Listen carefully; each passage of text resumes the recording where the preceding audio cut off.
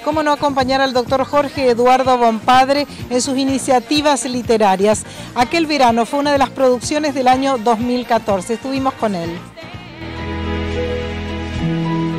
Bueno, es, una, es mi tercer libro de poesía y es una recopilación de, pensamientos, qué sé yo, de emociones, de vivencias, de muchas cosas que, viví en mi vida y, sigo viviendo. Es decir, ahí eh, se acumulan un montón de, cosas que, bueno, que fueron volcadas al papel.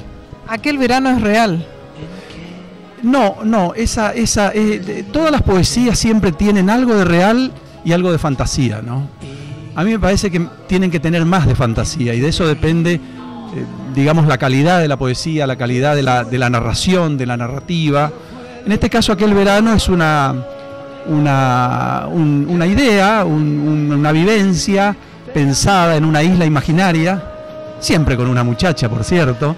Y bien, y bien, de eso se trata tiempo pasó de ese primer libro de verdades y mentirillas a este? Y pasó un año. En un año escribí los tres. Hasta yo me sorprendo, pero, pero es verdad.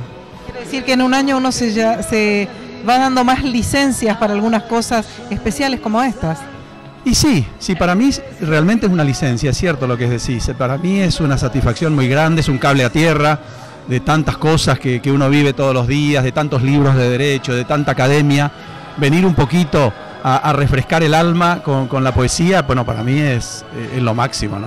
El lugar de presentación es la Facultad de Derecho, algo formal, pero el libro eh, implica una reunión de amigos hoy. Claro, no, este, este no es, es, cierto, es la Facultad de Derecho, pero la Facultad de Derecho también es cultura, y esto es cultura, es decir, no es un acto académico, eh, aquí es, una, lo que vos decís es así, es, es, efectivamente es una reunión de amigos, de familiares, y bueno, y de, la gente que le guste la cultura y que, adore la poesía, que adore la música y que, que adore el amor. ¿Dedicado a quién? Y esto está dedicado a mi esposa. Gracias por invitarnos. Gracias a ustedes.